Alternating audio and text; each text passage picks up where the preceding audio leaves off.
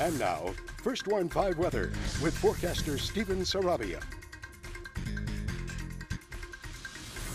Good morning. It is 846 off to a very chilly start this morning. You know, on my way to work, I probably sat inside my car for about five minutes just trying to warm up because of how cold it is.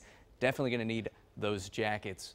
38 for Port Isabel, 41 for Harlingen and Raymondville, 42 for McAllen, and 37 over in Rio Grande City. And in this evening, temperatures are going to get up into the mid 60s, 66 by 3 p.m., mostly sunny skies. Then by 6 p.m., 58 clear skies, then 48 by 9 p.m. So still going to be very chilly these next couple days, well below the average, which is 73 degrees this time in December. We're going to get to 67 today and 68 for tomorrow.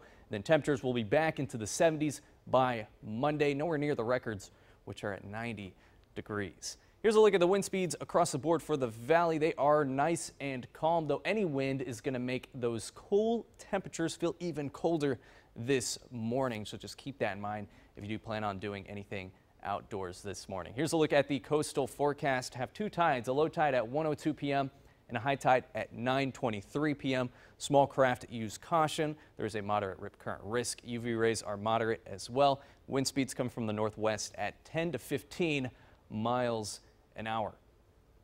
So I mentioned that temperatures do increase to the 70s on Monday, the start of the work week with partly sunny skies. And that's really the case the entire week. It does warm up on Thursday to about 74. Still partly sunny skies. Our next chance to see some rain is on Friday. That's when you're going to need your umbrellas as temperatures are, the, are at about 73 degrees there. But you're not going to need it for the start of the work week or pretty much most of this week coming up. And one thing to note is the lows these next couple days. It's going to be very chilly out there. So once the sun sets, just make sure you still have those jackets handy. And that is your updated First Warn 5 forecast.